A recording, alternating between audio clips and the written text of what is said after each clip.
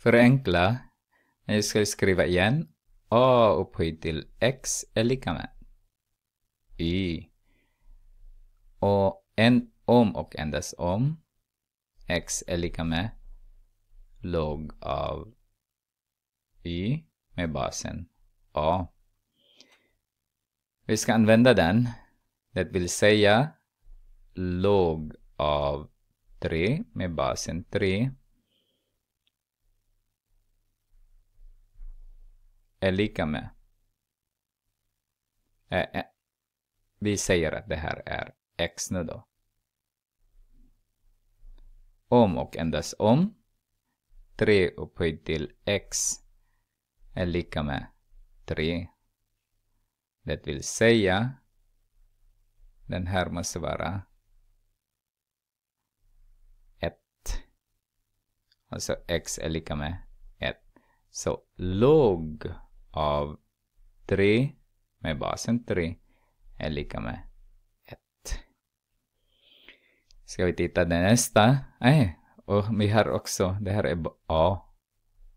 Och log av 9 också. Så har vi x är lika med log av 1 med basen 9 om och endast om 9 upphöjt till x är lika med 1. Um, 1 är samma sak som 9 upphöjt till 0 är lika med 1. Så om jag skriver den här ettan, alltså 9 upphöjt till x är lika med 9 upphöjt till 0 där också. Så har jag. Så den här andra, den andra är, så har jag x är lika med, nej, förlåt. Den här andra nu då, så log av 1 med basen 9 är lika med 0. Så om jag förenklar den här nu så får jag 1 plus 0 är lika med 1 enligt definitionen. Så vi tittar B. B här. Om jag ska förenkla den här nu då, enligt defin äh, inte definitionen, logaritlagar, lagen 2, så har jag log av 6